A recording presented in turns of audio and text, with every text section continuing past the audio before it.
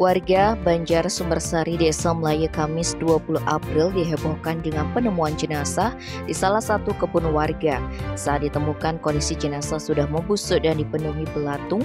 Belakangan jenis jenazah berjenis kelamin perempuan itu diketahui bernama Gusti Ayu Ketut Rake, 66 tahun yang sempat dilaporkan menghilang sejak Senin 3 April. Kasat Reskrim Polres Jembrana AKP Andro Yuan Elim Sejen Kapolres Jembrana AKBP Idewe Gede Juliana membenarkan kejadian itu.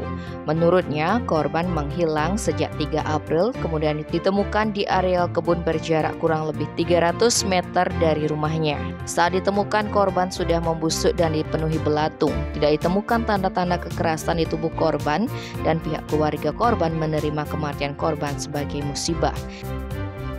Tim Bali Express melaporkan.